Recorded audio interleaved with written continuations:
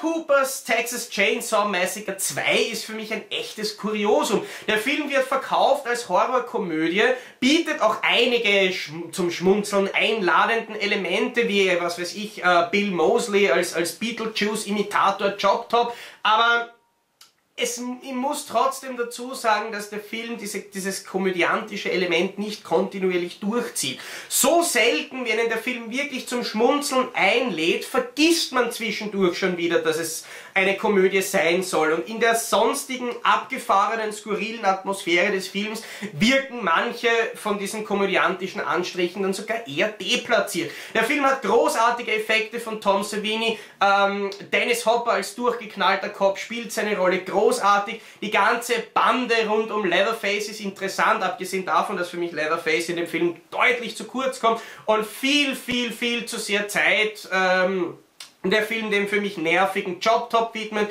Der Film ist auf keinen Fall so spannend, auf keinen Fall so atmosphärisch wie der erste Teil, kann unmöglich damit verglichen werden, aber er ist zumindest skurril, eigenständig und irgendwie interessant genug, um das Anschauen auch für Fans des ersten Teils äh, zu rechtfertigen.